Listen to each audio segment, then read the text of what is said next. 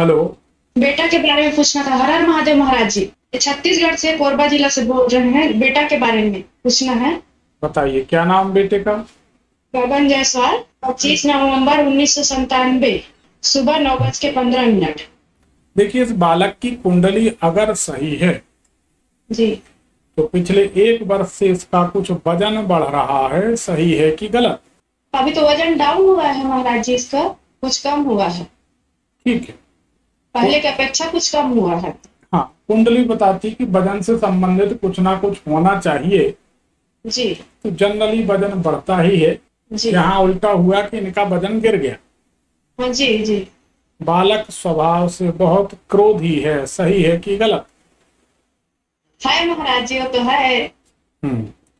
कुंडली ये बताती है जी। कि बालक को कमर में तकलीफ़ या शारीरिक कष्ट कुछ ना कुछ लगा रहेगा। सही है कि गलत?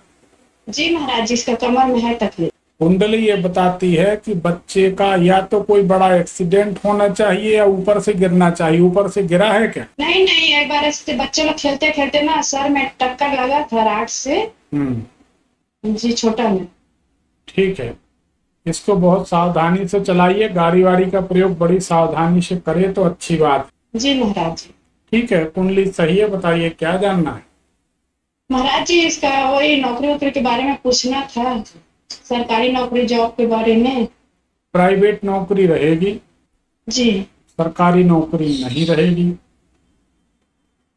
उसके लिए कुछ उपाय महाराज जी? किसके लिए? जैसे सरकारी नौकरी के लिए प्रयास तो बहुत कर रहे हैं महाराज जी।